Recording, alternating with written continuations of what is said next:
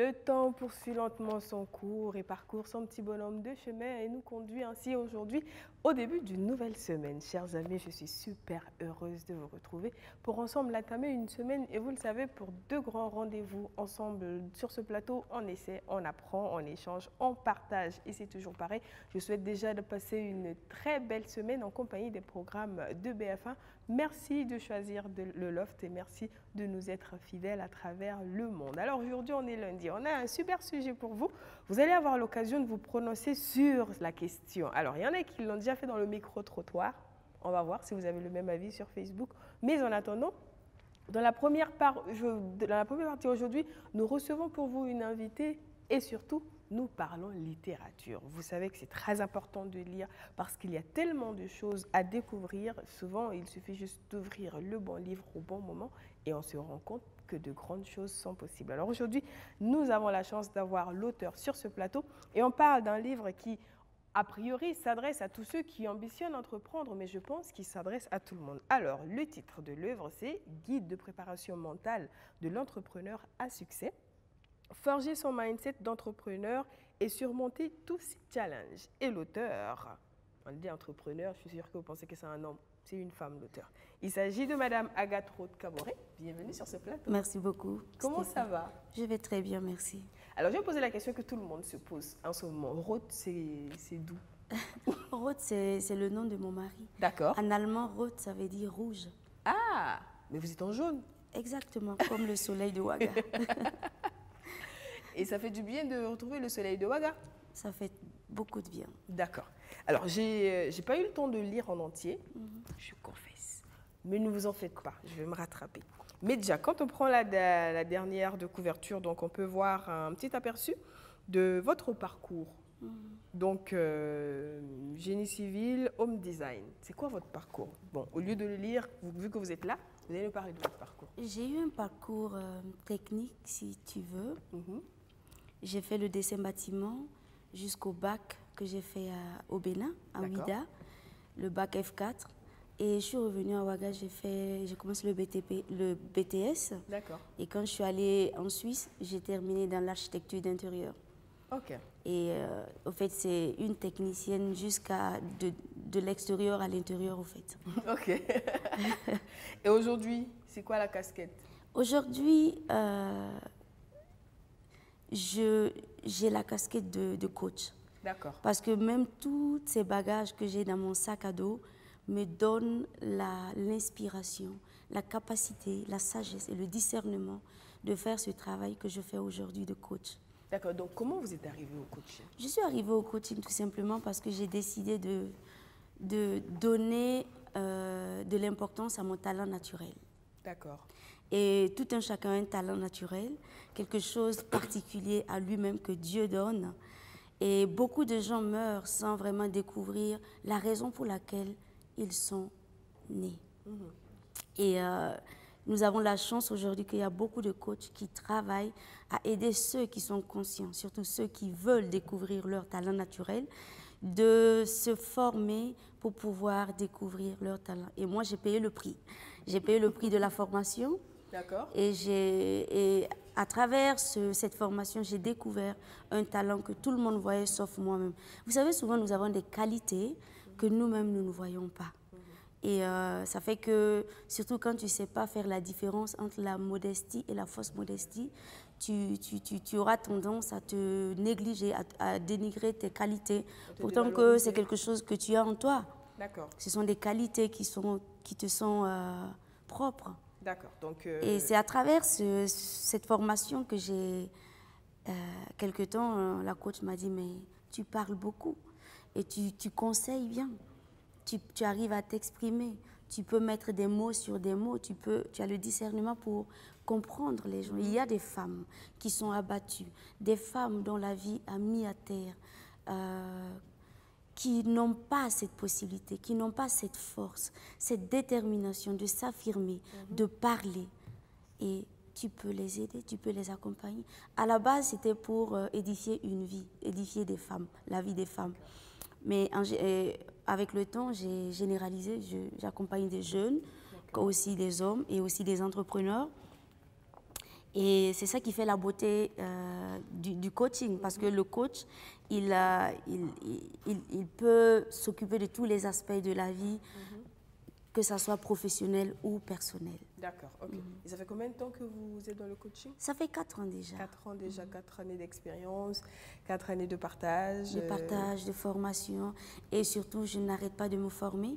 Toutes les semaines, j'ai des formations. Je suis dans un groupe de femmes on est plusieurs dans le monde mhm. et on, a des, formations de leadership, on s'accompagne, on prie ensemble et ça, ça, ça forme l'homme, ça forge quelque part. justement, ça tombe bien en fait euh, quand on parle de prière parce que j'ai vu, je ne sais pas si c'est dans la dédicace ou si c'est dans l'avant-propos, à quelque part on dit merci à l'Esprit Saint.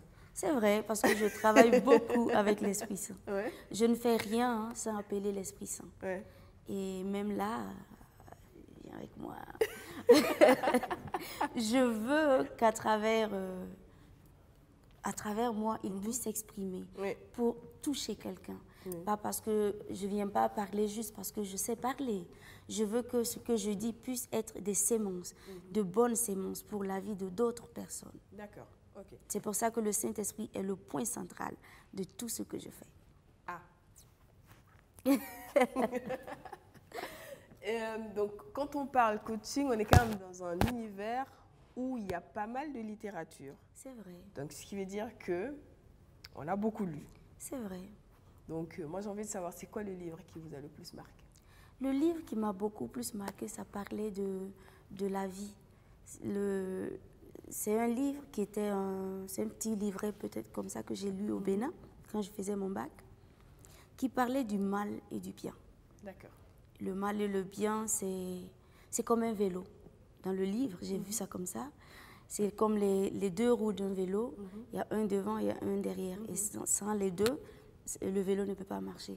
Mais nous décidons, nous décidons de mettre le poids où nous voulons, dans le mal ou dans le bien. Ça m'a beaucoup marqué, ça m'a beaucoup forgé parce que euh, dès, euh, le lycée, j'étais quelqu'un de très simple, gentil, rigolo et tout. Et beaucoup se disaient, mais elle joue un jeu ou quoi? Pourtant, c'est naturel. Et, moi, j'aime être comme je suis. Je n'ai pas besoin de, de changer. Et le fait d'être comme je suis, si je suis acceptée, je, rends grâce. Si je ne suis pas acceptée, je rends aussi grâce. C'est comme dans mon coaching, je dis toujours que je ne suis pas appelée à parler à tout le monde. Mon message n'est pas appelé à transpercer quelqu'un. Mon message n'est pas appelé à interpeller quelqu'un. Mais les gens dans ce monde qui sont appelés à être édifiés, à être impactés par ma vie, par euh, mon travail, par mes messages, le seront avec le Saint-Esprit. En tout cas, on sent une passionnée du coaching qui parle. du coup, moi, j'ai envie de savoir pourquoi plutôt, pourquoi pas un livre euh, sur le coaching, mais un livre sur l'entrepreneuriat? Un livre sur l'entrepreneuriat parce que j'ai, étant technicienne, mhm. depuis très jeune, j'ai beaucoup entrepris, j'ai fait des plans. En fait, cette envie, cette détermination de réussite, je l'ai aussi eue en tant que femme j'ai eu ma dédicace au Sénasa, dédicace conférence euh, formation, samedi passé au Sénasa. Et j'ai eu la chance et l'honneur de recevoir sur, euh, euh, sur, mon, panel? sur mon panel un maire, un maire de la ville de, de du Burkina, à quelque part, d'une ville du Burkina, qui nous a raconté son parcours il a parlé à quel point il avait cette vision, cette envie de, de réussir, cette détermination. Et il a fait des petits boulots, il a fait des travaux durs pour arriver là où il est. C'est un homme d'affaires qui a beaucoup d'entreprises, mais il a payé le prix fort. On ne peut pas vouloir connaître le succès, surtout un succès stable, mhm. sans passer par vraiment un chemin qui de, construction. C'est comme, j'ai toujours, comme je, sais comment construire une maison de la, du début jusqu'à la fin, je dis que tout, il faut une base solide. Sans mm. base solide, euh, l'immeuble peut aller jusqu'au 20e, mais ne tiendra pas. C'est ça. Voilà. D'accord. Donc, euh, donc c'est pour ça que j'ai parlé de l'entrepreneuriat. Mais si on lit bien même le livre, on voit que c'est une préparation mentale. Et j'ai toujours euh, l'habitude de dire que la préparation mentale est primordiale dans toute mm. chose que ça soit même euh, avant de se marier. Pourquoi il y a tant de divorces maintenant de nos jours? C'est pas parce que les gens veulent divorcer, mais c'est parce qu'on n'est pas préparé au mariage. Mm. Et c'est important de se faire suivre, de se préparer pour entrer dans le mariage. C'est très important de se préparer pour entreprendre. Parce que l'entrepreneuriat, ce n'est pas un jeu, c'est du travail. C'est un don de soi. Tu dois te donner, tu dois travailler pour pouvoir réussir. Sinon, tu vas lâcher. Tu vas rencontrer des difficultés, tu vas te dire, euh, c'est mieux que je trouve du travail. Et pourtant, au Burkina Faso, nous avons tous les ans 1 200 000 étudiants diplômés et seulement 4021 emplois disponibles. Alors, imaginez les, le taux de chômage. C'est normal qu'il n'y a pas de travail. Et si toi, tu, es diplômé de, de, génie, de génie civil et tu veux forcément trouver un travail de génie civil, je m'excuse, en génie civil. On a un invité apparemment qui, qui veut faire un tour dans les Je yeux. pense. Donc on parlait justement du nombre croissant d'étudiants diplômés qui sortent et le, la quantité décroissante de postes à pourvoir. Exactement. Maintenant, si tu sors diplômé et tu t'assois sur tes diplômes, tu veux trouver du travail avec ce que tu as appris. Et pourtant, euh, les postes à pourvoir sont déjà pris. Comment tu vas trouver du travail? C'est pour ça qu'il y a des frustrés, des gens perdus, des gens qui ne savent plus quoi faire, où se mettre. Parce qu'ils perdent même leur dignité. Parfois, quand tu, quand vous savez que la pauvreté, c'est une maladie mentale. Une fois que tu, tu n'arrives pas à survenir à tes besoins, tu es malade. Et tu, à quelque part, tu peux perdre ta dignité. Donc, c'est pour ça que l'entrepreneuriat est très important. Et ici en Afrique, il y a tellement de possibilités, nous avons tellement de choses à transformer, beaucoup de choses à faire que nous pouvons tous entreprendre. Il faut dire qu'en ce moment, la plupart des discours s'accordent justement à dire qu'il faut que les jeunes de plus en plus se dirigent vers l'entrepreneuriat, vers l'auto-emploi pour justement espérer absorber ce fort taux de chômage-là. C'est important. Mais justement, quand on parle justement de se forger un mindset d'entrepreneur, c'est ça. Parce qu'une chose est de dire aux jeunes d'entreprendre. Mais c'est quoi la différence entre entreprendre et entreprendre pour réussir? Entreprendre et entreprendre pour réussir, c'est différent parce que quand on, entreprend juste parce qu'il faut entreprendre, mhm. c'est difficile après de supporter les problèmes qui sont derrière. D'accord. Mais entreprendre pour réussir, quand tu entreprends avec une passion, avec un talent, avec une solution que tu as trouvée, qu'il y a des problèmes dans cette société et j'ai trouvé une solution pour répondre à ces problèmes, tu vas réussir. Mais quand tu entreprends juste parce que tout le monde veut entreprendre, moi aussi je veux entreprendre, sans cette vision-là, sans cette passion, sans ce, talent que tu dois mettre au profit de ton entreprise, ou sans cette solution que tu, as pour des problèmes autour de toi, beaucoup ne, peuvent, ne, dépassent pas, ne peuvent pas réussir parce qu'il y a tellement de, tellement de soucis dans l'entrepreneuriat, tellement de difficultés que si tu n'es pas forgé mentalement, tu ne peux pas supporter jusqu'à la fin. Mais quand tu persévères, tu travailles, tu persévères et tu crois en ta vision, tu réussis. D'accord. Donc si on comprend bien, c'est clair que ce n'est pas évident pour tout le monde. Alors, donc ce guide, euh, c'est clairement dit, hein, de préparation mentale. Mm. Mais on va dire que dans cet univers de l'accompagnement vers l'entrepreneuriat, vers la réussite, vers le succès, on a pas mal d'auteurs qui ont écrit dessus. Mm. Mais, et, en général, c'est des auteurs à succès, facilement on tombe dans des best-sellers, mais le comportement général ne bouge pas. C'est clair. Alors, qu'est-ce qui fait la différence avec ce livre? Vous savez, nous avons beaucoup de d'informations. Il y a beaucoup d'informations. Si tu vas sur les réseaux sociaux, tu vas trouver beaucoup de coachs. Si tu, tu, cherches des livres à lire, tu vas trouver beaucoup de livres sur le développement personnel. Mais la chance pour ceux ou celles qui arrivent à trouver des livres qui les impactent, c'est quand ils prennent le livre au moment où ils veulent des réponses sur ces sujets-là. C'est très important de savoir que la préparation mentale avant de rentrer dans l'entrepreneuriat ou d'entreprendre et réussir est très important.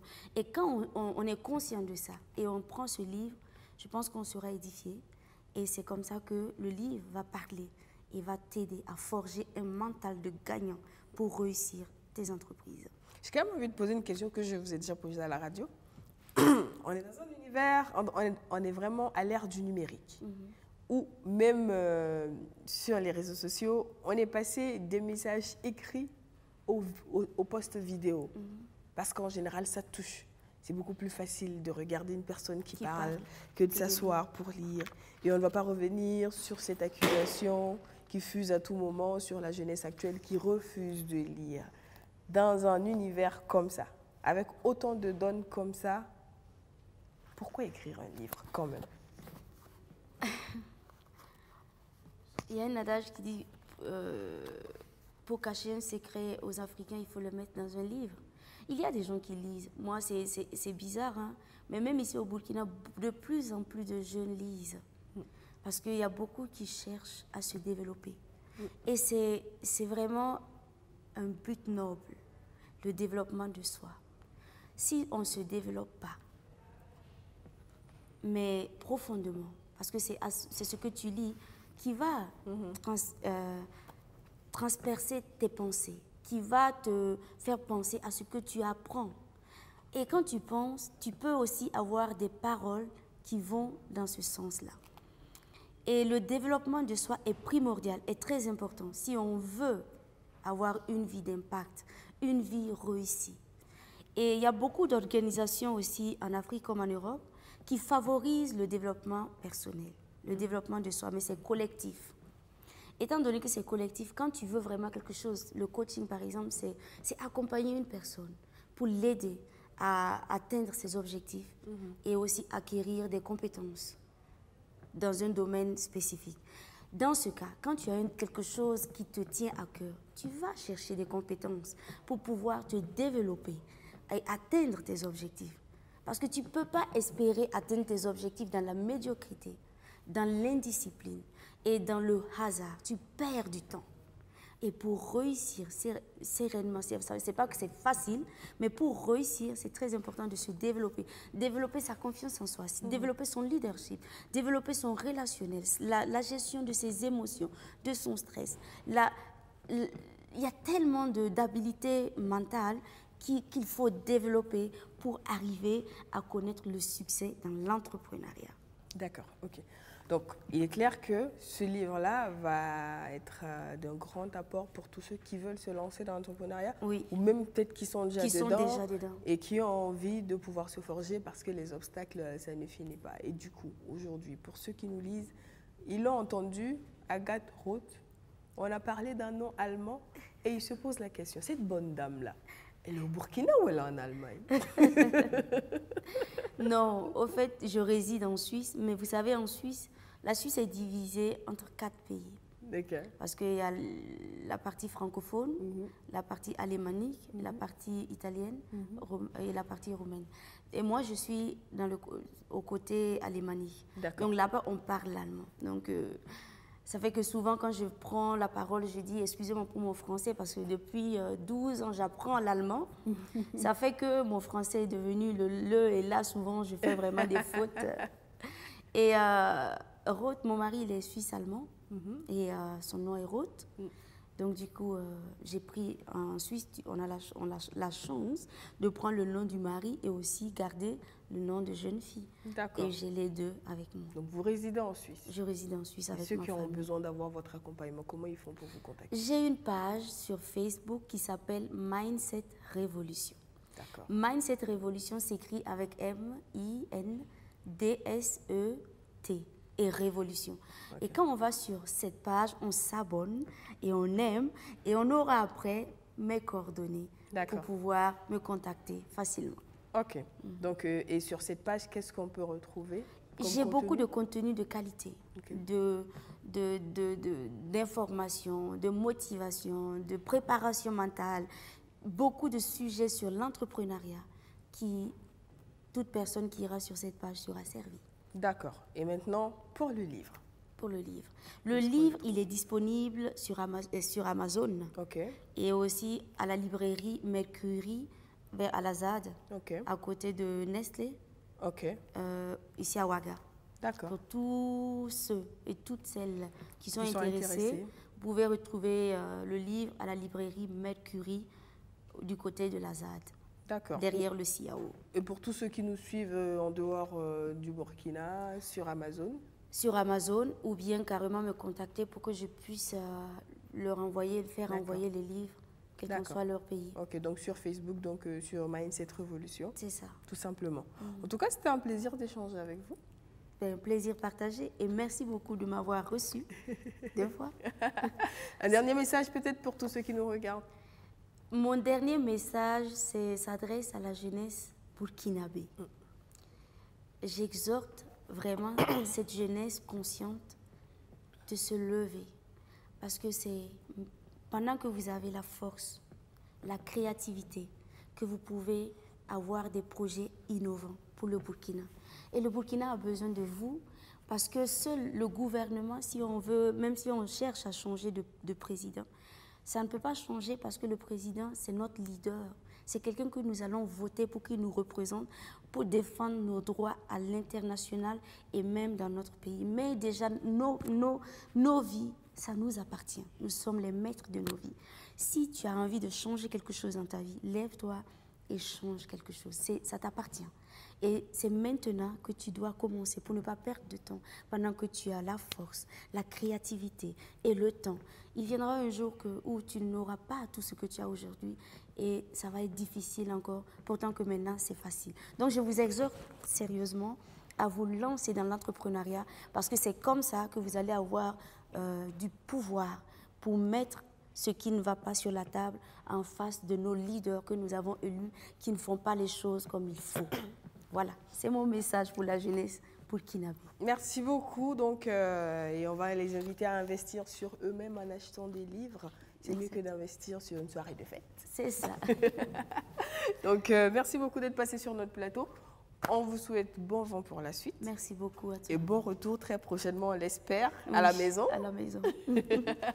Merci beaucoup. Et euh, pour vous, chers téléspectateurs, je pense que vous l'aurez compris, ce guide-là vous sera certainement utile dans vos démarches futures, peu importe ce que vous avez envie de faire. Donc, on vous invite à le retrouver dans les différentes adresses qu'on vous a données.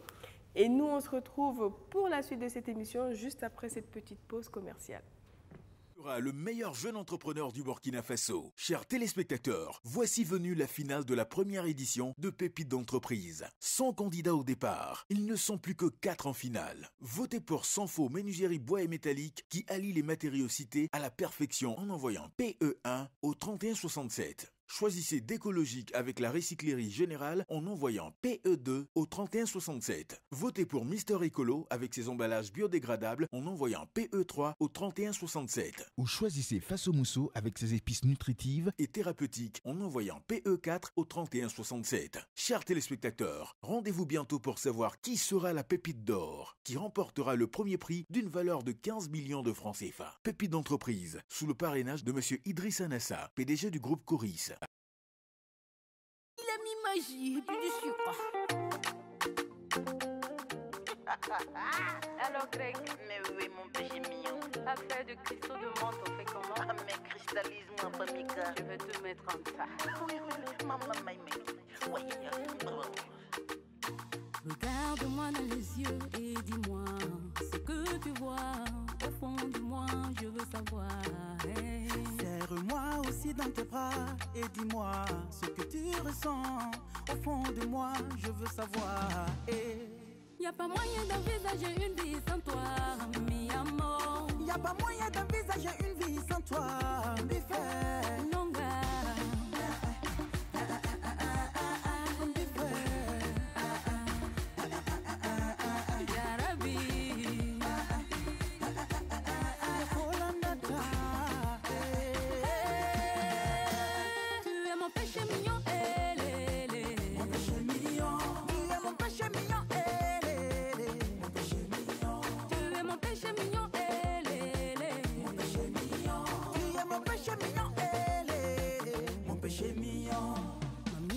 Y'a pas moyen d'envisager une vie sans toi, mi amour. Y'a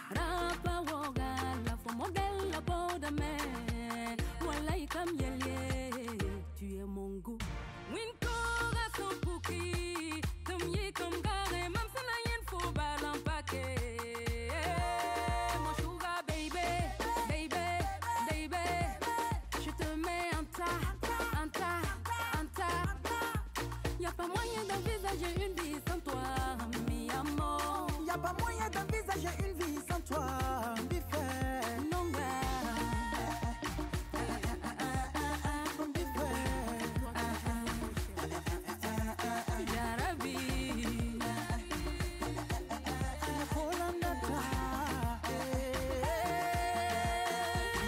Qui veut me donner cadeau. Je suis pas habitué à ce genre de go. Celle que je wanda veut me mettre en tas.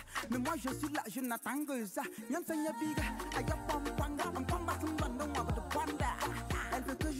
Que je dame sur ma nonga. Notez moi je la love forever. Je veux qu'elle m'appartienne. Oh yeah. Pour toujours,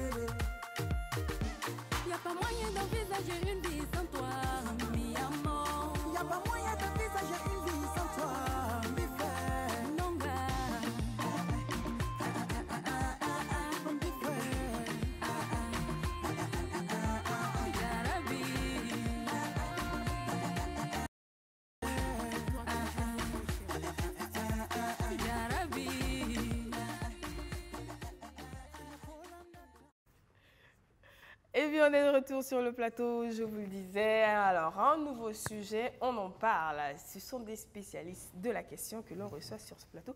Je garde le mystère comme ça.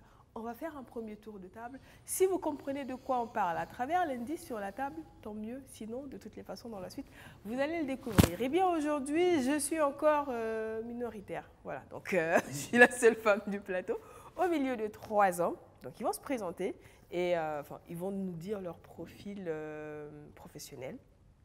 Et ensuite seulement, on reviendra sur le deuxième sujet. Donc, juste à ma droite, on va commencer par euh, le monsieur en blanc. Merci. Euh, je suis Tondé Amédée Jules, euh, informaticien de profession. D'accord. Et je suis le président de Non, la... non, Pause. On garde ça pour la suite. il est le président de Pause. On va voir si vous avez trouvé. En face de lui, il est en noir ou rouge? En noir. On va prendre le noir. Alors moi c'est Bazier Wilfried euh, Karim. De profession, je suis euh, agent commercial. Voilà. Maître de cérémonie aussi. Euh, si je vais tout citer, on ne va pas quitter ici. D'accord, on prend ça. Voilà. D'accord. Et monsieur en jaune Ok, Sanoro Issa, D'accord. je suis logisticien. D'accord. Oui. Ok, super. Ah ouais. Donc, informaticien, commercial, logisticien. Maintenant, vous êtes le président de l'association? Oui, le président de l'association des motards West Coast Adventure. D'accord. Attends, comment on fait West Coast là? C'est comme ça? Euh, C'est comme ça? C'est comme ça qu'on fait le West Coast, non? D'accord, ok. Et William? Oui. Qui est? Euh, dans... membre, tu joues quel rôle Voilà, je suis membre euh, de West Coast Adventure aussi. D'accord. Voilà, euh, avec euh, les autres membres. Ok, Je suis membre aussi, hein. d'accord. Voilà, Ok. Des groupes West Coast. Ils, ils sont juste des membres ou ils sont dans le bureau? Parce que moi, je cherche en général le trésorier quand je reçois des Vous n'avez pas amené le trésorier? Euh, si le trésorier est là, sauf qu'il n'est pas sur le plateau. Il est en train de s'enfuir. Je l'ai vu partir en plus. Non, c'est pas possible. On l'attrape pour la suite. Alors, donc, vous êtes motard. C'est quoi un motard? Avant d'avoir la réponse sur ce plateau, j'ai envie que vous entendiez ce que les gens ont dit. Donc, on part à la régie, on écoute la réponse des téléspectateurs et on revient. D'accord. Un motard, c'est une personne spécialisée dans les motos. Il peut faire les choses d'acrobatie comme ça. Non, moi, je ne suis pas un motard. Vu que non, je connais des gens qui pratiquent dans le domaine. Ce sont des personnes, voilà, c'est une question de passion, quoi. Voilà, si tu es passionné seulement. Selon moi, un motard, euh, c'est une personne qui cascade avec plusieurs sortes de motos. Ils font des gestes et Genre soulever les motos, déraper sur les voies. Bon, ça veut dire qu'ils nous donnent des problèmes seulement. On ne peut même pas circuler. À l'air, là, la circulation là même n'est pas bon. En plus, les gens là sont, sont nombreux. Donc, trop de vitesse là même, c'est pas bon. C'est une bonne initiative, mais il y a des impacts aussi dans, qui peuvent les affecter. Par exemple, à l'heure, là, si un motard soulève une moto et il est un peu déséquilibré, il peut se causer des blessures. Gens 14 ans, les 12 ans là, eux au moins concernant les motards là, c'est pas leur domaine. Mais au-delà de ça, voilà, des 18 ans en montant vers les 20 ans, les trentaines, même en étant vieux, on peut toujours rouler des, grosses motos, des grosses cylindres. Voilà, c'est très intéressant en fait. On a déjà, mais au Burkina ici, une famille de motards qui, font le déplacement, qui partent à Bobo, en Côte d'Ivoire et qui reviennent. C'est intéressant, quoi. Ça te permet de connaître d'autres pays, voilà. Si une moto est démodée, genre personne n'aime la moto là, quand ils prennent la moto là, quand les cascades qu'ils font avec là, ça amène les gens à aimer la moto quoi. Ça valorise la moto. Eh bien, vous avez entendu, quand on dit motard, c'est ce à quoi les gens pensent. Maintenant, on va mettre les choses à plat et comprendre. C'est quoi un motard? Euh, merci. Euh, je pense que la définition du motard enferme euh, beaucoup de choses. D'accord. Pour moi, c'est d'abord un esprit. Mhm. On parle très souvent d'esprit motard, dont on aura le temps de revenir là-dessus. Ok. C'est une philosophie, mais c'est en même temps un praticien euh, de la moto. D'accord. Maintenant, parmi les praticiens de la moto, je pense qu'il y a très souvent de la confusion. On l'a vu à travers ce mini-reportage. Oui. Euh, nous, par exemple, dans notre association, nous ne faisons pas du cross. Alors que vous avez des crossman qui font, Et- qui font du cross, c'est un sport, voilà. Bien sûr. ce- sport extrême-là où on Oui. s'amuse avec la moto. On s'amuse, on fait des cascades. Oui. Et en général, il y a des sites dédiés euh, pour ces gens de voilà pour cette pratique. Moi, j'ai fait du cross antérieurement, mais actuellement, je n'en pratique plus. Voilà, peut-être mon, mon fils fera du cross, oui, mais bon, jusqu'à un certain âge également, euh, il est assez risqué, hein, comme tout sport extrême. Voilà. Donc, je pense qu'il y a très souvent la confusion entre euh, ces différentes tendances, voilà, ces différents groupes de, de, de motards. Euh, ensuite, on a souvent tendance à confondre celui qui pilote une moto et puis un motard. Pourquoi je le dis Parce que vous voyez des gens euh, piloter des motos en ville sans aucune protection, sans aucun casque, vraiment dans des conditions qui ne sont pas du tout euh, voilà, adéquates. Et nous, en tant que motards, nous ne considérons pas ces derniers-là comme, Comme des étant des motards. Ok. Voilà. Ils roulent juste une moto. Donc pour nous, il ne suffit pas de rouler une moto. Moi qui Voilà, pensais que tous les Wagalais étaient motards. Hmm, non. Donc- voilà un peu. Voilà ce Mais est-ce que dire. nécessairement il faut faire partie d'une association pour être motard? Ça, parce qu'il y a des conditions qu'il faut remplir d'abord pour euh, intégrer un club, pour être un motard. Voilà, je prends exemple sur, sur notre club. Mhm. D'abord, concernant la cylindrée, c'est-à-dire que euh, la puissance de la moto, il y a une- à partir d'une certaine catégorie que la moto est acceptée. Et maintenant, on t'intègre dans le groupe avec bien sûr un processus d'intégration. Mhm. Euh, bien sûr, en passant par les cotisations. Ensuite, euh, on, te dit, enfin, on te dit plutôt euh, les règles, la conduite à suivre dans le groupe. Mhm. Qu'est-ce que cette association fait? Mhm. Qu'est-ce qu'il ne faut pas faire? Il y a, bon, en tout cas, c'est bien cadré. Voilà, il y a des règles qui sont bien établies si réellement tu veux faire partie de ce club-là. D'accord. Voilà. Donc on ne peut pas être motard solo. On peut être motard solo, c'est possible. Motard solitaire, il y en a plein. Ok. Mais bon. C'est mieux d'être dans un. Voilà. voilà. Mais hein, moi j'ai envie de savoir, c'est- ça, c'est un prix d'être motard. Parce qu'on a parlé d'une cylindrée à atteindre. Et quand on monte en cylindrée, souvent on monte aussi dans le prix. Oui, il y a des- oui, Donc, oui. c'est pas n'importe qui qui peut être Oui, c'est pas n'importe qui. Ouais. Ça va avec quoi. Voilà. Le prix, ça va avec. oui. Parce qu'il n'y a pas que la moto. Il y a Oui, pas que oui. la Non, moto.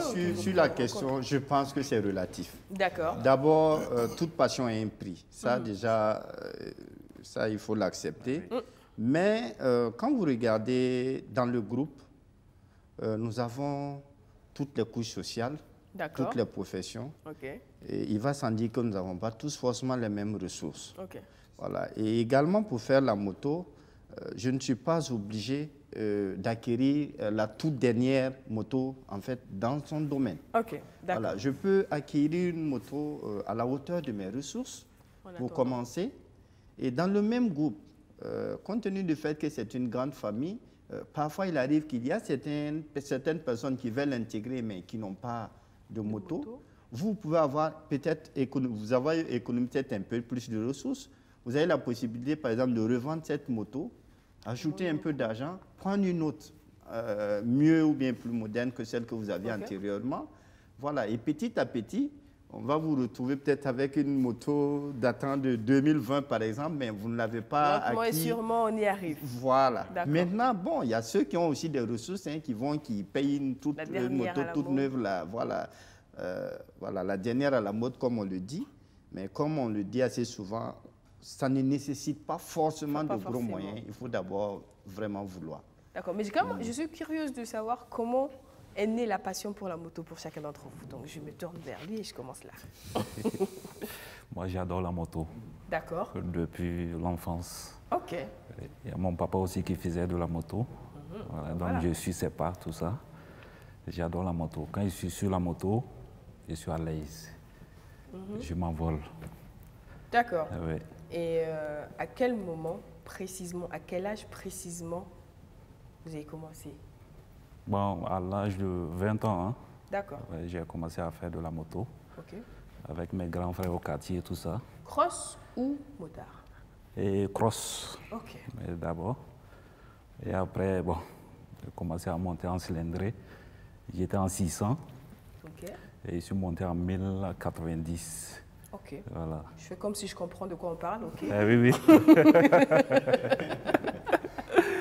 Ah ouais. Le papa le faisait avant Oui, oui, avant. je- Mais la maman, qu'est-ce qu'elle a dit quand tout ça a Eh, rien, c'est des bénédictions seulement. D'accord. Voilà, elle nous accompagne avec des bénédictions, c'est tout. Ok. Voilà.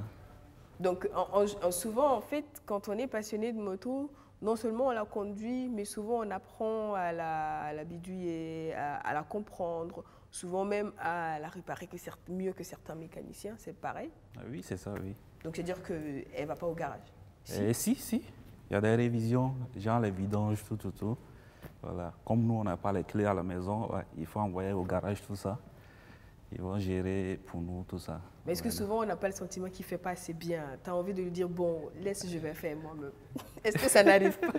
Bon, ça arrive, voilà. Parce qu'il paraît peux- que les hommes souvent entretiennent mieux leur voiture que leurs femmes. Donc j'imagine pas le motard avec sa moto. Nous, nos motos là, c'est comme nos deuxièmes bébés.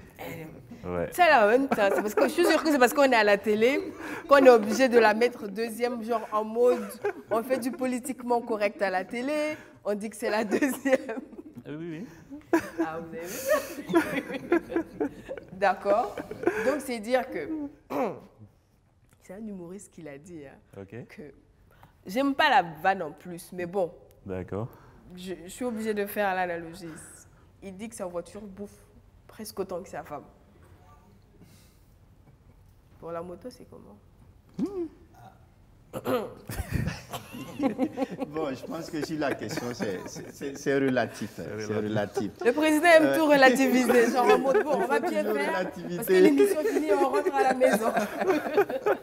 Non, c'est relatif parce que je pense que déjà pour bien pratiquer la moto, euh, il faut arriver à la limite. Il y a certains qui ont la chance d'avoir par exemple des conjointes qui aiment la moto.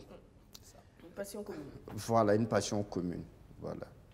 Euh, chez moi, par exemple, c'est le cas. Donc, j'ai eu cette chance. Euh, Il y a certains euh, qui ont des conjointes passives.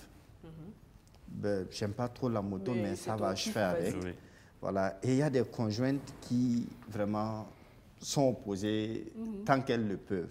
Voilà. Et dans cette situation, c'est souvent assez compliqué. Voilà. On essaie plutôt d'amener la conjointe, même si elle ne va pas l'aimer. Je- Bon, quand je dis conjointe, je veux parler de la famille en général. Mhm. Voilà, parce que ce n'est pas forcément la conjointe. On peut ne pas forcément être marié, mais avoir des frères, des aînés Qui ou sont même pas forcément voilà, des parents qui ne sont pas forcément d'accord. C'est de les amener au moins à accepter Voilà, parce que euh, rester braqué n'arrange pas toujours les choses, parce ça. que nous-mêmes nous reconnaissons que c'est un Souvent. sport quand même, voilà, il y a des risques en fait qui y sont mêlés. Eh bien, Président, d'où est née la passion Bon, la mienne, je pense que déjà euh, tout petit, euh, j'enviais vraiment euh, ceux qui pratiquaient la moto. J'avais pas les ressources. Et puis, je pense que ça a commencé à, à l'université. J'ai fait l'ESI, d'abord pour commencer à Bobo, l'école supérieure d'informatique. Et je me rappelle bien que j'étais, la plupart de mes amis, en fait, promotionnaires, euh, retiennent en fait que j'étais le seul en fait à avoir une moto. Quand je dirais une moto, c'était pas forcément une grosse cylindrée, mais euh, quand j'ai pris mon phone, euh, mon prêt comme tout le monde le faisait pour acquérir une moto, au lieu d'aller acheter une Ninja ou une P50 dans son temps, je suis allé acheter une grosse moto en seconde main qui m'a vraiment emmerdé. Ça, je le reconnais parce que j'avais pas les ressources, mais voilà. Donc tout le monde Il me fallait la connaissait. moto. Oui, il me fallait la moto. Donc vraiment, elle m'a emmerdé. Bon, de moto à moto, je pense que je dois être actuellement autour de la dixième ou la onzième comme ça. D'accord. Et elles sont passées où les autres? Revendus Ben, je pense euh, qu'il y a ou- d'autres que j'ai. Ou en collection? Euh, non, collection, non. Je crois avoir. J'ai juste une autre moto que je garde actuellement parce que je l'utilise de temps en temps. Ça, c'est euh, en cross. Euh, les autres, soit je les ai euh, carrément abîmés, j'ai dû changer, ou alors je les ai revendus. Je pense que ma moto antérieure, que j'avais d'ailleurs euh, est utilisée par un membre du club actuellement, qui est toujours en très bon état. D'accord. Donc voilà, c'est comme je le disais tantôt, bon, entre... Dans une même voilà, Dans une association, même on les association, voilà, on se serre les coudes. Ok. Oui, oui. Vas-y. Euh, moi, j'ai. La passion de la moto est née quand j'étais à, à Koudougou. Ok. Voilà, quand j'étais en 6e, 5e. Ok. Euh, Jusque-là, je ne savais pas rouler à moto. Donc, il y a un ami de la famille qui est venu une fois à la maison et on devait sortir pour une course. Mhm. Il est venu en ce temps avec une Kawasaki, euh, 250 cm3. Donc, il m'a pris derrière, on a allé, on partait payer de la viande en fait. Et quand on a payé, je suis descendu, j'ai regardé la moto au loin. Je lui ai dit, ah, tonton, moi je veux rouler la moto là. Il m'a dit, tu es trop petit, tes pieds ne, ne vont pas. J'ai dit, je veux rouler. Il veut démarrer pour combat. J'ai dit, je ne monte pas. Non, j'ai refusé carrément. Il dit, bon, ok, je te mets devant et puis on va essayer d'aller. J'ai dit, ok. Donc quand il m'a mis devant, il a démarré. C'est vrai qu'il me tenait, mais moi je tenais le, le, guidon en fait. Ouais. Maintenant j'accélérais un peu. Maintenant, comme les pieds n'arrivaient pas aussi, C'est lui qui gère les. Voilà. Donc c'est de là que tout est parti. Je parie que tu as pensé que tu avais conduit la moto. Oui, c'est ce que j'ai pensé. Jusqu'à ce que euh, je paye euh, ma première moto Mhm. et que je vois que, ouais, il y a une grande différence. Ah. Voilà. Donc, c'est-à-dire que quand tu as payé ta première moto, tu avais déjà pratiqué entre euh, cette première expérience et l'achat. Voilà, voilà. De temps en temps, j'avais des amis qui avaient de, de grosses motos, qui Mhm. venaient au lycée. et quand je les voyais, bon, vu que j'avais déjà de, un peu d'expérience là-dedans, je prenais, je faisais un tour. Il y avait les Satria, il y a les Yamaha sans de luxe là. Mhm. On aime appeler ça la Sat sauvage. voilà, donc euh, avec ça, on faisait les cascades, on faisait les living et tout et tout. Bon, c'est avec le temps on a compris que c'était vraiment très risqué. Ouais. C'était très risqué parce qu'il n'y avait aucune protection. Voilà. Mais justement, ça revient à tout ce qu'on a entendu dans, dans le micro-trottoir. Il y a plein de gens qui disent Ouais, ils font des acrobaties sur la route. Naturellement, la tata qui a dit Ouais, mais ils nous créent beaucoup de problèmes. Bon, c'est pas forcément vous, mais quand on dit motard, on pense immédiatement à ce côté cascade, euh, un peu barbare et anarchique euh, dans les rues. Mais quand même, dans le parcours de chacun, à un moment donné, vous avez fait du cross. Quand même. Et du coup, en général, quand on parle cross et qu'on sort de l'univers des passionnés, tout ce que les autres voient immédiatement, Ah, mais c'est risqué, c'est dangereux, ça peut tuer. Comment on surpasse ça? Parce que c'est quand même un préjugé qui persiste pour tous ceux qui ne sont pas dans l'univers de la moto de penser et de l'intégrer que la moto est dangereuse. En fait, il serait faux de dire que la moto n'est pas dangereuse. Mm.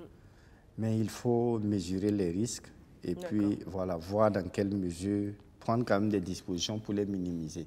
Moi, j'ai fait du cross.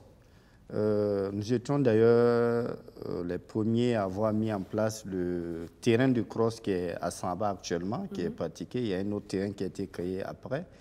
Mais nous pratiquions le cross surtout pour des balades hors de la ville et sur le terrain. D'accord. Je n'ai jamais fait de wheeling en pleine ville.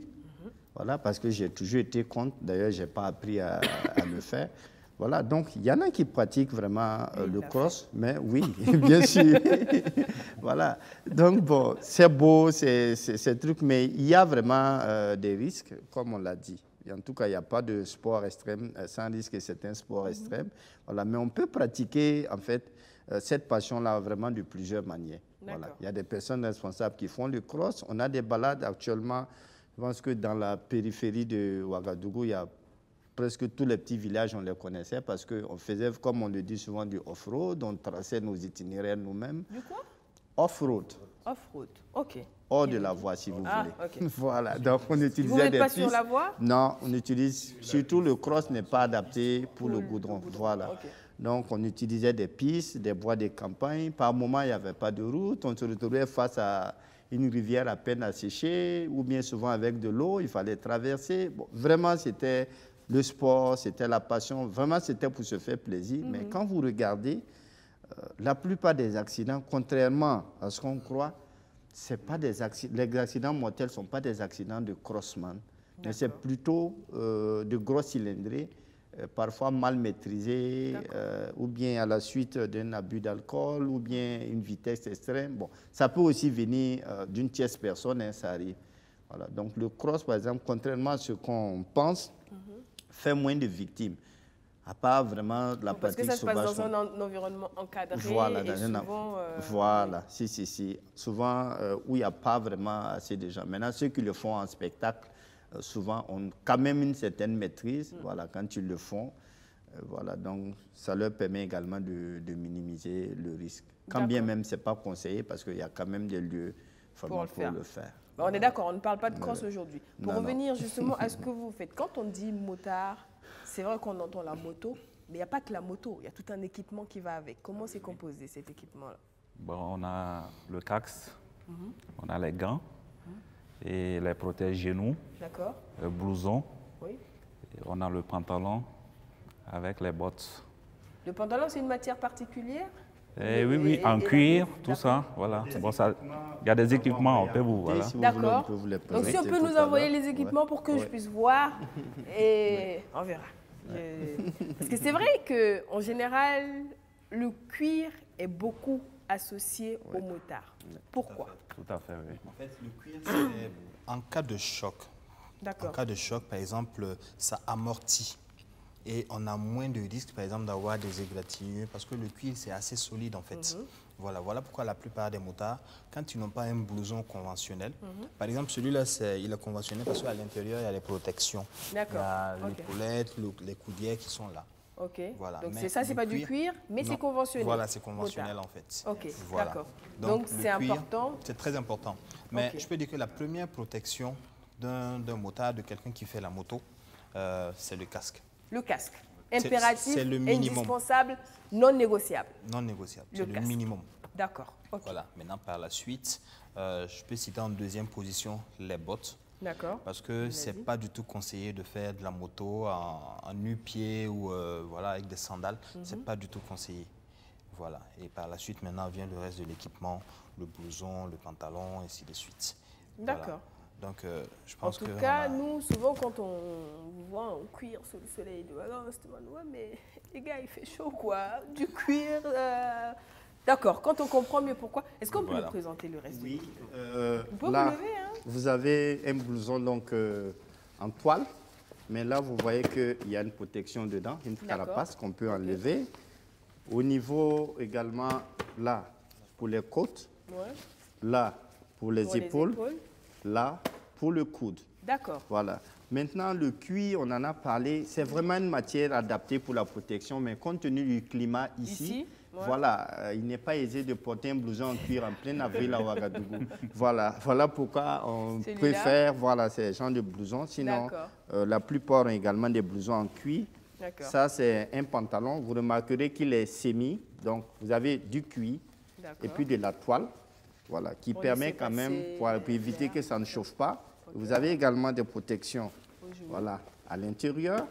Voilà. Il arrive parfois également que euh, on veuille porter un pantalon, un jean ordinaire, Mhm. voilà, mais euh, il est conseillé de porter en fait ces protections-là qui permettent de protéger voilà, le, Le genou. genou. D'accord. Voilà. En cas de chute, donc je peux le mettre sur mon jean rapidement, j'arrive au bureau, je l'enlève, je, je dépose. Et vous avez les mêmes protections également euh, pour les coudes. Voilà. Les gants également, euh, vous avez les gants euh, intégraux et puis vous avez les gants de ville. Les gants de ville sont coupés parce qu'ils sont plus faciles en fait à, à manier. D'accord. Voilà. Avec Mais une protection, en fait. voilà, là, là. ouais. Si, si. D'accord. Voilà, Parfois, sur certains gants, la protection en carbone, certains en, en plastique. D'accord. Vous avez les gants intégraux où vous avez On tous les, les doigts doigts qui sont couverts. ouais. Voilà. Mais en ville, euh, parfois, ce n'est pas assez pratique. Mais pour les voyages, euh, en général, on préfère vraiment les utiliser pour qu'en cas de chute, comme on l'a dit, le risque zéro n'existe pas, mais il faut au moins les minimiser. D'accord. Voilà. Le casque, déjà, pour la tête, ça, c'est indispensable. Voilà. On a d'autres accoutrements que je n'ai pas envoyés parce qu'on a la comment dirais-je, la ceinture Oui. voilà, lombaire. On a également euh, une ceinture dorsale voilà, qu'on met sous. Tous ces éléments en fait, contribuent vraiment à sécuriser non seulement la colonne vertébrale, mais voilà, le reste du corps, qu'on porte en général lorsqu'on voyage. Justement, on a parlé de voyage tantôt. Oui. On a dit que c'est pas du cross. Oui. Donc, qu'est-ce que vous faites? Oui. Dans votre association de motards Ok. D'abord, comme je l'ai dit euh, tantôt, euh, c'est- une famille. C'est une grande famille.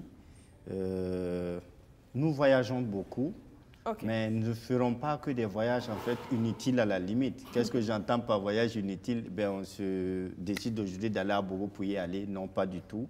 Alors, lorsque nous décidons, par exemple, d'aller dans une localité, Mhm. euh, notre premier objectif, c'est la sensibilisation euh, sur la sécurité routière et sur le port du casque.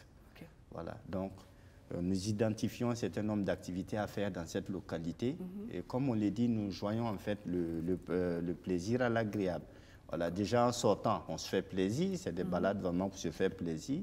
Mais lorsque nous arrivons sur place, non seulement nous sensibilisons, mais à la hauteur vraiment de nos ressources, nous faisons des dons symboliques. D'accord. Voilà, on offre parfois des casques aux forces de l'ordre, nous offrons des gilets fluorescents aux forces de l'ordre.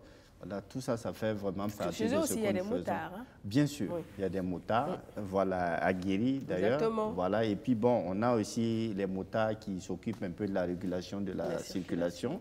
Voilà, euh, donc vraiment c'est de manière symbolique que nous le, le faisons, mais indépendamment également euh, de ce cadre vraiment strict motard, nous faisons également dans le social. Nous ne sommes pas une, activité- une association caritative, Mhm. mais il arrive parfois que euh, dans certaines localités, nous décidons par exemple d'aller de venir à un aide, à un orphelinat, et nous prenons vraiment sous, sur nos fonds propres. Voilà. Euh, il y a une activité phare que nous appelons Noël pour tous les enfants, que nous organisons chaque année. Euh, nous faisons un tour de ville euh, avec des véhicules dans lesquels nous avons déjà mis de la nourriture. Nous offrons de la nourriture aux enfants de la rue, aux enfants au niveau des feux. Nous offrons des biscuits, des trucs cool. vraiment. euh, Et Noël, voilà. c'est dans deux mois. Oui, donc. Voilà, c'est bientôt. Voilà. C'est quoi le plus long voyage Oui. que toi tu aies fait à moto? À moto, Oui. euh, c'est jusqu'à Banfoura. Ok. Combien d'heures de route Euh, déjà, Ouagabobo, avec ma moto, j'ai fait 2h30 Ok. avec euh, une pause de 45 minutes. euh, donc, en gros, 3h30 jusqu'à Banfoura. D'accord. Voilà. Ok. Quand on arrive, Oui, est-ce qu'on tient sur les pieds? Oui.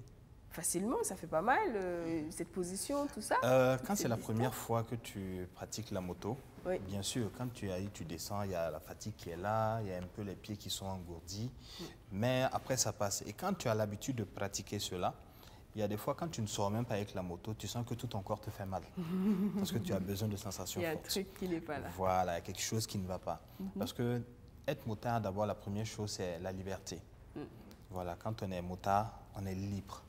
C'est-à-dire qu'on est au contact de la nature, Mhm. on est au contact du vent et on est au contact de réellement tout ce qui est merveilleux. C'est-à-dire qu'on visite les endroits où les gens n'ont pas vraiment envie d'y aller. En voiture. Voilà. Ok. Le plus long voyage en moto.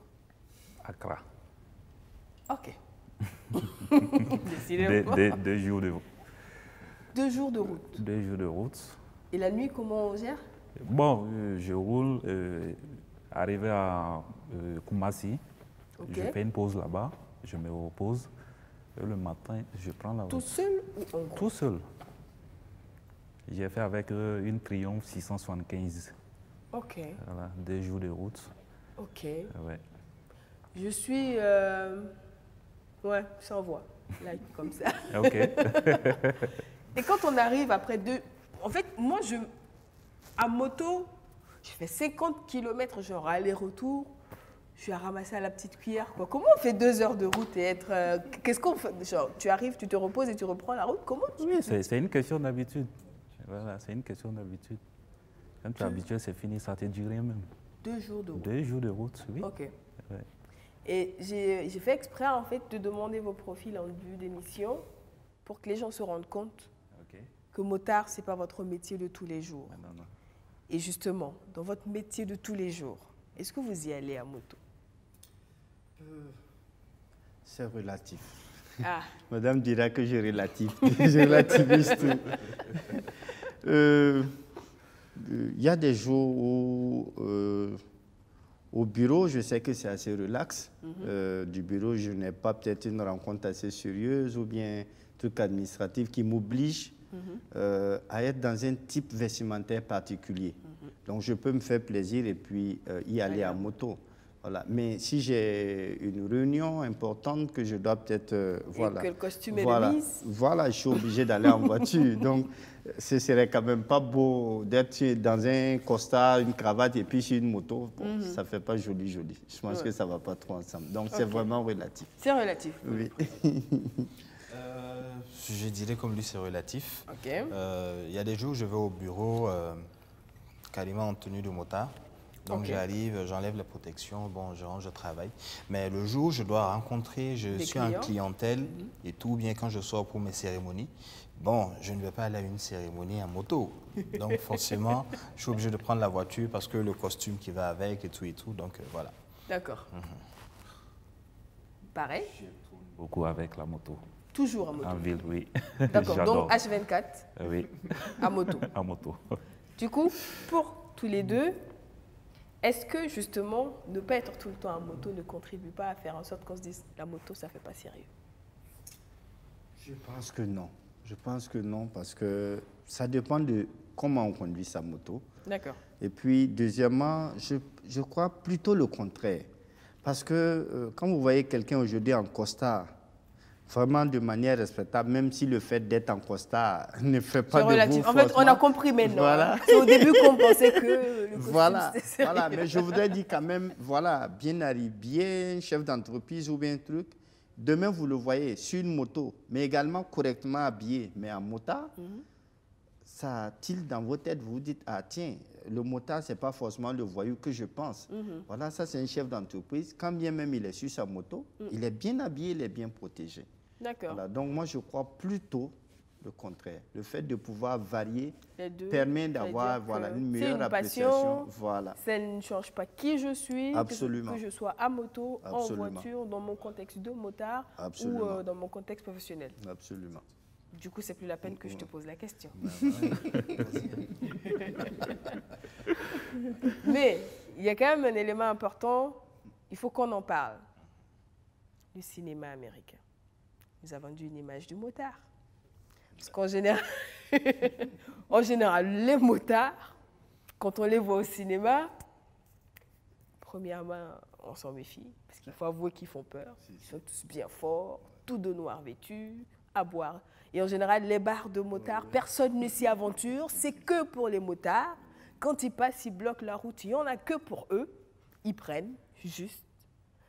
Et c'est l'image qu'on a. Et en général, le cinéma contribue à forger quelque chose de fort dans notre mental. Et quand on a cette image du motard, bah, quand on en voit un en vrai, on se dit Ah, tiens, ils sont arrivés ici. Est-ce que vous n'avez pas le sentiment que cette image du motard vendu par le cinéma vous colle souvent à la peau? Bon, plus ou moins. Mais je pense que quand nous regardons un peu euh, ce qui est véhiculé à travers le cinéma, je pense que c'est dans un contexte particulier. Mhm. Quand vous regardez, c'est parfois dans des films d'action. Oui. Et on veut faire voir les motards à travers plutôt des gangs. Justement. Voilà. Donc, euh, l'idée du gang bien l'image du gang qu'on a, c'est vrai qu'au début, pour quelqu'un qui ne connaît pas réellement un motard, Mhm. il a quand même une idée, en fait, arrêtée. C'est ça. Voilà. Mais dans la pratique, euh, je regardais tout à l'heure euh, le reportage qui est passé. euh, Il y a quelque chose qui m'est revenu. Euh, parfois, nous les voyons, ils, ils voyagent en groupe, truc, Mhm. mais quand vous nous voyez vraiment passer en groupe, c'est plutôt euh, une image opposée à celle qui est véhiculée Mhm. euh, par le, cinéma. cinéma. Parce que déjà, nous ne roulons pas en désordre comme on le dit. Voilà, on roule vraiment dans- en fil, avec un ordre bien défini, avec ce qu'on appelle un éclaireur de pointe, avec un serre-fil, chacun à sa place. C'est vraiment bien régulé, la vitesse est bien maîtrisée. Mhm. Donc, du coup, dès que vous voyez passer, même si vous n'aimez pas la moto, c'est clair que ça va vous faire plaisir. Vous avez le Ça genre, comme on chose. dit. Oui, voilà. Donc je pense que ça, ça a permis vraiment, ça permet de casser un peu le mythe Mhm. de cet esprit de gang en fait que nous avons et voilà qu'on affiche pardon à travers le cinéma. cinéma. Voilà. Toi qui es quand même dans la com, est-ce que c'est pas une minorité de ceux qui étaient prédisposés à accepter l'activité de motard qui arrive à dépasser cette idée reçue véhiculée par le cinéma? Il faut dire qu'on est un peu trop dans le stéréotype. Ouais. Parce que beaucoup de gens me voient quand je suis sur ma moto Mhm. et il faut que j'enlève le casque pour que les gens voient que c'est moi. Mm. Donc quand ils me voient sur ma moto, ils sont étonnés, mais je pensais que tu étais maître de cérémonie ou bien que tu étais... J'ai dit oui, je le suis, mais ça n'empêche pas que je sois motard. Mhm. Ça n'empêche pas que je sois discipliné. Voilà. Et ce qui est intéressant aussi à souligner, c'est que quand tu es dans une association, il y a cette discipline-là qu'on t'apprend. Parce que quand tu es motard solitaire, c'est vrai, euh, tu es discipliné, mais pas autant discipliné que quand tu es dans un groupe. Voilà, parce que tu suis les idéaux du groupe. Et dès que tu quittes le contexte, forcément, on te ramène à l'ordre. Et c'est ce qui est important, en fait, parce qu'on ne peut pas vivre dans une société et faire ce qu'on veut. Moi, franchement, c'est ce qui m'a beaucoup plu dans l'association, parce que c'est vraiment très ordonné. Et on ne peut pas faire n'importe quoi là-bas. C'est super, c'est bon Voilà. à savoir. Est-ce que, je me tourne vers toi, est-ce qu'il arrive souvent que tu aies l'impression qu'on te ferme la porte parce que tu es motard? Mais non. Est-ce que c'est arrivé? Est-ce que tu as déjà eu le sentiment? Et non, non, c'est jamais arrivé. Mais à aucun oui. moment, il a fallu argumenter pour dire bon, au-delà du motard, j'ai une expertise, j'ai une expérience, je suis une personne, j'ai des valeurs. Est-ce Bon. que souvent il faut faire ces- cet effort-là pour que les gens se rendent compte que sous le casque et tout ça, c'est voilà, c'est Une personne responsable. Voilà. Oui. D'abord, moi, je prends la moto comme un outil de travail. D'accord. Je travaille beaucoup avec ma moto. Ok. Voilà. Je sillonne les différents bureaux de douane, tout ça. Bien habillé, bien protégé. Donc, il y a le respect dedans. Voilà. Ok. Si tu me vois, bon, il y a le respect. qui est Ok. là. Voilà. Donc, Bah, ça- quand même, ça veut dire qu'il faut s'imposer une discipline. ah oui. Parce que dès qu'on fait un écart, on se dit ouais, mais on savait, j'ai quelqu'un Ah qui veut oui. la moto, Ah il ne oui. peut pas. Non, dans le groupe, on est bien discipliné, tout ça. D'accord. Voilà, tout est là. Quand tu roules. il y a le Comme il président a qui dit, est là. comme ouais, tu n'es pas oui. dans le droit chemin, on te ramène. Et justement, comment est née l'association? Euh, Vraiment, c'est né à partir d'un groupe d'amis passionnés de moto, comme on le dit. Voilà, euh, il faut déjà préciser qu'à Ouagadougou, il y a plusieurs associations de, de motards. motards, oui. Voilà, euh. Nous étions d'abord dans, un, dans une association. Et puis, bon, à, un moment donné, on a eu l'idée également de créer notre association assez jeune. Elle doit avoir peut-être deux ou trois ans tout au plus. D'accord. Alors, on a eu une idée également voilà, de créer également une autre association. Voilà, et on l'a mise vraiment en place, mais c'était déjà euh, à partir d'un noyau qui était praticien euh, déjà de la moto. Voilà. Et dans nos textes, on a essayé vraiment d'asseoir un certain nombre de conditions voilà, pour l'adhésion. Par exemple, chez nous, l'adhésion se fait par parrainage, Ok. voilà, par un membre. Donc, pour pouvoir adhérer au club, euh, il faut déjà connaître quelqu'un du club Mhm. voilà, qui propose en fait votre adhésion et qui se porte garant voilà, de, de votre personne. Tout ça, c'est pour éviter vraiment qu'on se retrouve à un moment donné sans contrôle voilà, sur ce qui se passe au moins à, à l'intérieur. D'accord. Et on a également un petit temps d'observation. Voilà. On vous Une invite déjà à à participer au moins à une ou deux de nos activités pour que nous puissions au moins mettre déjà euh, un nom, euh, voilà, un, nom sur un visage plutôt sur le nom. Voilà, et puis voir un peu euh, comment vous vous comportez. Et puis, euh, dès que nous validons l'adhésion, bon, il y a bien sûr euh, des coûts que nous demandons en termes de frais d'inscription et puis voilà, frais de participation annuels. D'accord. Voilà. Mhm. Ok, donc parrainage, première condition. Oui. Naturellement, il faut être passionné de moto. Passionné et avoir aussi une moto. Ah, avoir Parce une que moto, si vous peu n'avez pas. importe sa taille, mais l'avoir. Bon, quand même une certaine cylindrée. D'accord. Voilà, même une certaine cylindrée. À partir de moins. euh, bon, même en 200, on peut prendre 250, mais sauf que si la cylindrée est trop petite aussi, vous aurez parfois du mal à, À suivre le reste de Voilà, à, suivre. C'est vrai qu'on ne fait pas forcément de la vitesse, mais sur de longues distances, Mhm. voilà, vous ne serez pas euh, tout à l'aise. Alors, euh, je suis vite allée sur Internet Mhm. pour voir ce qu'on a comme question. Alors, on a euh, Patrice Lebenda qui dit Cool, je les admire trop même. Est-ce que toute personne qui a une RTR routière est un motard? C'est vrai qu'on avait posé la question au début, mais comme elle revient, le président a beaucoup parlé. Il va répondre. Est-ce que toute personne qui a une RTR, il a mis entre parenthèses un routière, est un motard Peut-être considéré comme un motard, genre un motard solo. 180, les Apaches. Bon, euh, s'il a les équipements adéquats, le CAX, tout ça, voilà, bon, il peut adhérer. Mais pour suivre le groupe, ça serait un problème. Ok. Voilà, ça Bon, serait un déjà, en termes de puissance du moteur, il Bon, pourra ça, va, ça peut aller, oui, ça peut aller. Il faut avoir les équipements, le CAX homologué, et les blousons, tout ça. Voilà. D'accord. Ok. Bon, ben voilà. Donc, euh, Patrice, tu as ta réponse. Alors, euh, Toussaint qui dit vraiment félicitations les motards parce que le fait de contrôler la moto n'est pas tout à fait facile. On a Intouchable Kiliam qui dit euh, ils sont uniques et magiques. J'aimerais être comme eux. Je ne sais pas pourquoi j'ai le sentiment que c'est un jeu.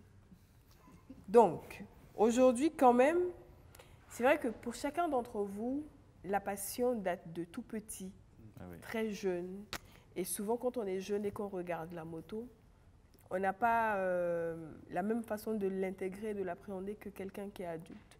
J'ai entendu une fois un psychologue qui dit que quand on dit camion dans l'esprit d'un adulte, c'est potentiellement dangereux, mais dans l'esprit d'un enfant, c'est un jouet. Donc, je pense que c'est pareil pour la moto pour un jeune que pour quelqu'un qui pratique et qui sait. Donc aujourd'hui, pour des tout jeunes, quelqu'un a dit pour les 12, 14 ans, ça ne doit pas être leur affaire. Mais quand même, en général, ils sont très intrigués. Il y en a qui forcent pour conduire quand même, malgré que les pieds n'arrivent pas.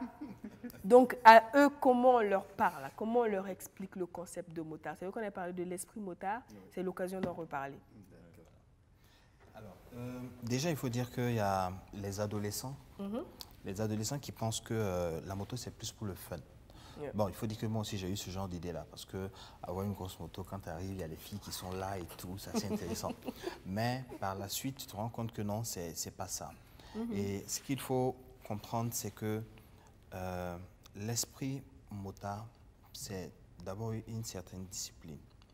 Et quand on est un motard, quand il voit, quand il voit un autre motard, peu importe le pays, le, le- ce motard peut t'accueillir chez lui sans te connaître.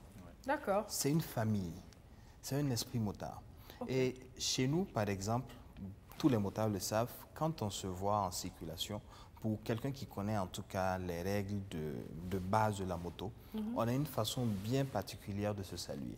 Ok. Et quand on voit quelqu'un faire le geste, tu sais que non, c'est un motard quand même qui, qui- qui- qui s'y connaît quoi. Qui sait de voilà. quoi il parle. Donc en circulation, souvent, On peut connaître le geste oui, simplement, on se fait ça. Ah, d'accord. Voilà. Voilà, Sauf ça que maintenant, que- tout le monde saura le faire. Voilà, mais bon, ça dépend aussi si tu n'es pas sur la moto adéquate. Voilà. Donc, l'esprit motard, moi, je peux quitter par exemple le Burkina, Mhm. je vais en Côte d'Ivoire ou bien à Dakar. Un motard qui me voit automatiquement, il peut s'arrêter. S'il voit qu'avec la plaque d'immatriculation, je ne suis pas du pays, euh, forcément, il va s'arrêter. Ah, vous êtes nouveau, ah, bienvenue. Est-ce que vous avez un pied à terre? Je peux vous accueillir chez moi. Donc, c'est ça l'esprit motard. C'est cool, ça. C'est ça l'esprit motard. Tu n'as pas besoin de connaître le monsieur d'Adam et d'Ève avant de l'accueillir, avant de lui offrir l'hospitalité. D'abord, le fait de partager la même passion prouve que vous êtes de la même famille. Et quand on est de la même famille, c'est ton frère. Donc tu n'as pas besoin de trop de salamalek pour vraiment le mettre à l'aise. Parce qu'un motard, d'abord, c'est celui qui découvre la nature. C'est celui qui est en, en vrai, en vraie symbiose avec, Avec la la nature. Parce qu'on sort beaucoup. Et donc, forcément, quand tu arrives ailleurs, tu vois un autre motard, tu te sens chez toi, tu n'es pas dépaysé. Et le monsieur, il te met vraiment bien, quoi. C'est-à-dire que toi-même, tu n'as même pas envie de repartir. Est-ce que c'est déjà arrivé? Oui, ça m'est déjà arrivé. Euh, c'est vrai que j'ai cité Banfora tout de suite, mais ce n'est pas Banfora. Mhm. Il y a eu Banfora, Oui. mais une fois, j'ai roulé jusqu'à à Di. Ça, c'est où? Di, c'est le village de, de ma femme. Ok. Voilà, voilà, c'est à la frontière pas allé du demander sa mère à moto? Si Oui, à moto. Ok. Je venais de prendre euh, une Transalp euh, 650. Ok. Donc, c'était pour l'essayer. Donc, j'ai roulé jusqu'à. J'ai dépassé Koudougou, Tougan, jusqu'en profondeur.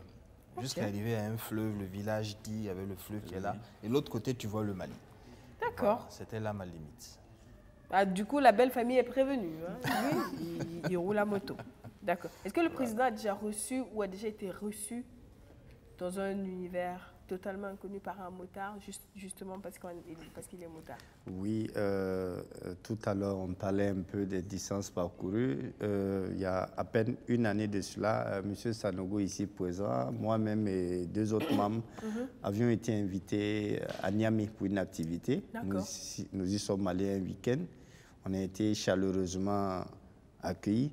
Mais déjà, l'esprit motard dont tu parlais, dès la frontière, il y avait une équipe de sept motards qui nous attendaient, qui ont roulé depuis Niamey jusqu'à la frontière. Nous sommes passés par Dori.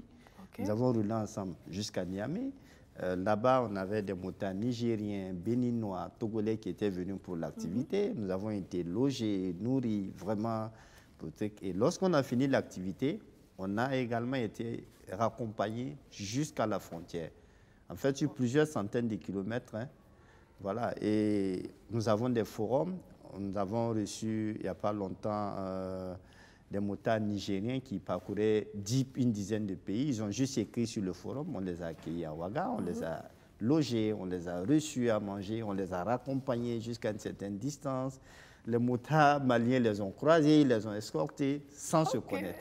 C'est vraiment, quand on parle d'esprit motard, c'est une grande famille. Partout où vous allez, dès que vous arrivez, vous dites que vous vous signalez en tant que motard, vous aurez forcément un motard qui sera prêt à vous accueillir. C'était pareil à. Accra? Oui, oui, c'était pareil. Wow. Ouais. Alors, deux autres commentaires sur Facebook. On a Steve ODG qui dit Je voudrais. je trouve leur activité très intéressante. J'aimerais bien y adhérer, mais il me manque la moto d'abord. J'ai une question à propos des distances. Ont-ils déjà eu à faire la distance Ouaga-Bobo avec tout le groupe? Enfin, avec le groupe Plusieurs, Plusieurs fois, on l'a dit. plusieurs Avec fois. Ouaga-Bobo Bon, c'est C'est une promenade de santé. Oui, oui. Voilà. On, avait, on avait, par exemple prévu une sortie avec. voilà, Ouaga 2000 pas droit. Tranquille, euh, c'est euh, comme ça. On avait prévu, par exemple, euh, une sortie sur la Côte d'Ivoire avec tout le groupe sur Abidjan. Bon, malheureusement, avec la situation concert. un peu instable et la fermeture des frontières, nous avons dû en fait désister, mais on, on était au moins une vingtaine qui étaient déjà voilà, préparés pour se Mais, déplacer. mais quand même, je, je- repose la question autrement. C'est quoi la plus grosse distance faite en groupe? Euh, bon, en groupe, euh, ça dépend. Vraiment, pour, avec tout l'ensemble, Mhm. c'est jusqu'à Banfora au moins. D'accord. Voilà, avec tout l'ensemble, avec un grand nombre de membres. Sinon, à l'international, comme on l'a dit, il y a Malheureusement, des vous n'avez pas encore euh, eu l'occasion de partir. Si, mais pas, pas avec tout le monde. Parce que quand on Mais- dit, compte tenu des activités des, uns et des, autres, oui. voilà, c'est pas toujours en fait évident. Mais pas avec tout le monde, vous êtes allé jusqu'où? Sans que ce soit Euh, tout le monde. ben, on est allé juste, comme je le disais tout à l'heure, on a été jusqu'à Niamey. Jusqu'à Il y a Niamey. le SG qui n'est pas là, mais qui détient vraiment le, Le record record. roulage. On- parce que- on a entendu parler de ce SG-là. On a entendu parler de lui. C'est quoi oh, Est-ce qu'on peut avoir un petit aperçu du palmarès du SG Ben, là, je Est-ce sais que quelqu'un que... peut vendre la mèche? Je sais que l'année, euh, les vacances dernières, par exemple, euh, il est allé euh, de Ouagadougou, on l'a raccompagné jusqu'à Coupéla. Ok. Il a continué, il a participé, il est allé d'abord à Lomé. Mhm. De Lomé, il a continué sur Accra parce qu'il y avait une convention. De la convention d'Accra, il est revenu sur Lomé, continué à Cotonou pour une autre activité. Il a été à Parakou avant de revenir sur Ouaga. Et tout ça en moins d'une semaine. Ok, d'accord. Et même à l'intérieur, il parcourt vraiment pour son déplacement. euh, il est responsable. euh, il travaille un peu dans le milieu associatif. D'accord. Mais il préfère se déplacer en moto, qu'en voiture. Bon, je retire ce que j'ai dit au début. Tous les Wagalais ne sont pas motards. Parce que, oh, oh, comme le dirait quelqu'un, ce n'est pas pareil. Et lui, lui, il adore vraiment la moto. Tout à l'heure, vous vous signalez, euh, je suis euh, béninois, je suis à la frontière. Est-ce qu'il y a quelqu'un qui est prêt? Je vous dis que si il n'a pas un travail au bureau, il est prêt seul à démarrer sa moto et puis aller le croiser à la frontière. Juste pour le plaisir.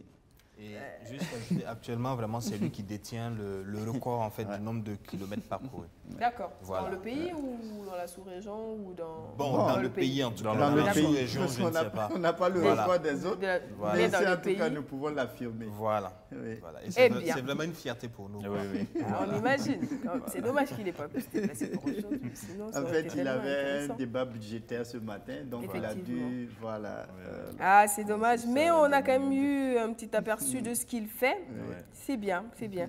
Alors, on avait une dernière question. Moi, je ne sais pas ce que j'ai traficoté ici. Le temps de trouver le commentaire que je voulais quand même vous lire. De Daoud Ahmed qui veut savoir est-ce que souvent ils essaient de sensibiliser les jeunes frères sur les dangers en essayant de faire comme eux sans protection? Et on revient, je pense, sur tous ces jeunes, malheureusement, qui pensent que sur une moto, avec un goudron, un bout de goudron, on a le droit de faire ce que l'on veut. Vous faites des campagnes de sensibilisation, certes, mais est-ce que vous parlez directement à ces jeunes-là? Oui, en fait, au-delà vraiment des, des campagnes de sensibilisation, je pense que la meilleure manière de sensibiliser, c'est de le faire directement. Moi, je ne pourrais vous dire combien de fois en circulation, j'ai dû m'arrêter au feu, euh, soit devant euh, parfois la jante féminine ou truc. Pourquoi je- j'en parle? Parce que la plupart du temps, pour la jante féminine n'aime pas porter le casque par rapport aux hommes. Désolé de le Oui, dire. oui, mais- oui. Bah, en fait, Ouais. souvent, Parce vous que savez, on a des on dit coiffures. qu'on a des coiffures compliquées. Et puis, pour mettre le casque, c'est difficile. Donc, parfois, je m'arrête gentiment. Ah, bonjour, vous avez une très belle moto. Ah oui, merci. J'ai dit, ben, vous voyez, si vous aviez porté un casque, imaginez un peu votre visage sur ce goudron chaud là. Qu'est-ce que ça va donner en fait après? Ce ne sera pas joli, joli. Il y a des Mm. choses qui restent définitivement. Porter un casque, ce serait mieux. C'est important. Ah, c'est vrai, je n'y avais pas pensé. Mais c'est sûr que sur trois personnes ou quatre sensibilisées, il y aura au moins une personne qui va porter dorénavant le casque. Parfois, je, je sais que j'ai déjà poursuivi des enfants en circulation, mais là, vraiment, je- j'en avais là. Vraiment, j'ai menacé au feu. On pensait que je les connaissais parce que je ne les connaissais pas. C'est aussi vraiment un problème qu'on rencontre parce que Mhm. les parents, parfois, pour faire plaisir à leurs enfants, mettent à leur disposition des cylindrées vraiment assez euh, importantes pour leur âge. Ouais. Voilà. Et sans s'en assurer, voilà, ça s'assurer vraiment qu'ils prennent des dispositions pour se protéger. D'accord. Il nous reste oui. trois minutes d'émission. D'accord. On va faire un dernier tour de table Mhm. pour avoir euh, l'essence de ce que tous ceux qui nous ont regardés aujourd'hui doivent, doivent retenir justement sur cette activité de motard, sur ce que ça comprend, sur tout ce qu'il y a dedans et ce qui est bon à savoir. Donc on va garder le président pour la fin. On va garder le président pour la fin. Et on va commencer par toi. Alors, euh, je dirais que la moto, Mhm. c'est- il faut d'abord avoir la passion. D'accord. Quand on a la passion, il faut savoir se discipliner. Et on ne peut pas vouloir faire de la moto sans avoir l'outil primordial qui est le casque. Peu importe le cylindre que tu roules, que ce soit une P50, une Yamaha, le minimum c'est le casque. Le Et c'est ce que nous faisons comme sensibilisation d'ailleurs sur notre page euh, Facebook Mhm. qui est West Coast Adventure. Ouais. Et nous sensibilisons vraiment le, le maximum de personnes possible au Mhm. port du casque. D'accord. Voilà. Donc, euh, j'encourage euh, tous nos jeunes frères à porter le casque parce que c'est vraiment très important. Euh, avant d'intégrer le groupe, je reconnais qu'il y a eu des moments où je suis sorti sans casque, malgré euh, le type de moto que je roulais. Bon, ça, il faut dire que c'était lié aussi à l'adolescence et tout Mhm. et tout. Mais porter le casque, c'est important parce que vous avez de la valeur pour vos familles, pour vos amis, et ça serait vraiment malheureux de perdre sa vie inutilement parce qu'on veut faire le malin sur le goudron, franchement. C'est ça. En tout cas, il l'a compris, il a porté son casque. Jamais faire de la moto Sans son, sans- sans son casque. C'est important. C'est très très important. Un autre message peut-être pour les, les jeunes passionnés de moto qui se disent Ah tiens, moi je vais faire comme ça quand je vais être plus grand. Hmm? Pour tous les jeunes, pour tous les enfants. Moi j'ai envie de même jusqu'aux enfants parce que souvent 8, 10 ans, plutôt quand ils voient ils disent Moi je vais faire ça quand je vais être plus grand, je vais rouler à moto. Qu'est-ce que vous leur diriez à ces enfants-là? Eh bon, euh, tu ne peux pas empêcher un enfant de ne pas faire de la moto, Mm. mais les conseils que tu peux leur donner, c'est de toujours rouler protégé. Oui. Voilà, avec le casque, tout ça. Voilà, C'est le minimum. D'accord. Ouais, Est-ce qu'il faut également passer le permis ou pas? Si Bon, il y a le permis A1 qui est là. Ok. Voilà, il faut passer tout ça. Donc il faut peut-être que les parents aussi commencent à penser Oui, à oui, faire passer oui. le permis moto Oui, à oui, leurs c'est ça. enfants. C'est très très important. Oui. Ah oui, oui. D'accord, ok. Mm. Président, pour conclure, Merci déjà de nous avoir reçus. Euh, je dirais tout simplement que la tête, c'est un peu comme une pastèque, si on veut la comparer. Euh, Lorsqu'elle tombe, en général, on ne peut pas la recoller. Voilà. Un et bras, souvent on quand il ne se peut- casse pas, c'est Ouais. tout, c'est devenu de la bouillie à Voilà, l'intérieur. hein. voilà de la- ça devient de la bouillie. et parfois même, il est mieux de partir en paix que de rester avec des séquelles vraiment irrécupérables. Un bras, on peut s'en faire amputer. Un pied, on peut l'amputer. Mais on ne peut pas amputer une tête. Voilà, c'est vraiment la vie importante, elle est précieuse. Et vraiment, c'est un cri de cœur. On a trop d'accidents à Ouagadougou, trop de mortalité qui auraient pu être évitées juste par le port du casque. Et on demande vraiment aux parents, c'est bon d'offrir des motos aux enfants, mais de s'assurer au moins que les enfants soient protégés. Vraiment, c'est un cri de cœur. Merci. Voilà, je me joins. euh, je peux devenir membre qui me paraît. Oui. Sauf que je ne sais pas rouler sur vos motos. C'est pas grave, on vous apprendra à piloter. Voilà. Je ne sais pas piloter. Mais en tout cas, je, me, je joins ma voix à la vôtre quand même pour dire que c'est très important de se protéger quand on est en circulation. C'est vrai qu'en ce moment, sur les réseaux sociaux, on a pas mal d'images qui passent de la zone féminine, cette fois, qui véhicule le bon exemple des mères avec leurs enfants, tous les deux en casque. Et ça, c'est une très belle image. Et j'espère que vous allez être de plus en plus nombreuses et nombreux à penser avoir le réflexe de porter le casque. Ça peut vous sembler superflu tant que tout va bien. Mais quand ça ne va pas, qu'est-ce qui va se passer? C'est une seconde de perdu qui va jamais être rattrapée parce que la vie est foutue ensuite. Donc faites très attention. Je dis un grand merci donc à West Coast Adventure, Adventure. exactement, donc euh, pour euh, ce message de sensibilisation aujourd'hui et surtout de nous avoir permis de mieux vous comprendre, de peut-être dépasser nos préjugés donc autour de la moto et de nous dire que finalement, en fait, c'est mieux de le faire bien que de ne pas comprendre et de condamner. Merci beaucoup, passez une excellente suite de journée. Nous, on se donne rendez-vous demain avec un autre sujet ou d'autres invités. D'ici là, portez-vous très bien et surtout, faites très attention à vous, protégez-vous car vous êtes important pour le pays.